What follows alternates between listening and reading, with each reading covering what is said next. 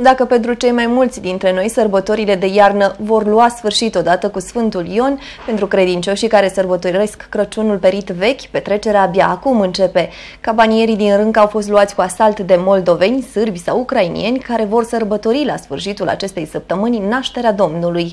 Locurile de cazare disponibile sunt însă foarte puține, pe motiv că vacanța elevilor încă nu s-a terminat, iar cei mai mulți au dat buzna la munte.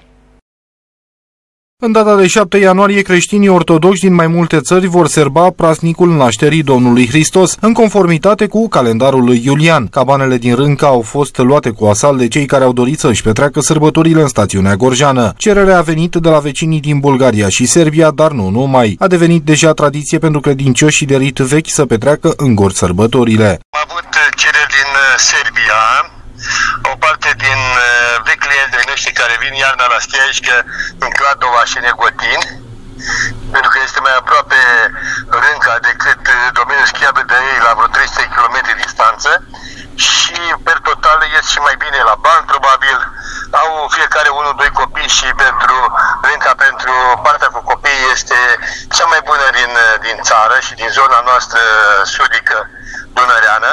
Locurile de cazare sunt însă limitate deoarece în această perioadă este și vacanța elevilor. Deci au fost ocupate posibilitățile de apartamente, camere de restricte sau de patru ale dânșilor care le doreau cu copiii mai, mai din octombrie-noiembrie pentru aceste perioade de 7 ianuarie, 10 ianuarie, weekendul acesta, că a fost și vacanță totodată la noi prelungită până 10 ianuarie. Cea mai solicitată zonă de către ruși, ucrainieni sau moldoveni care sărbătoresc Crăciunul vechi este Valea Prahovei. Anual aceștia lasă sute de mii de euro în România.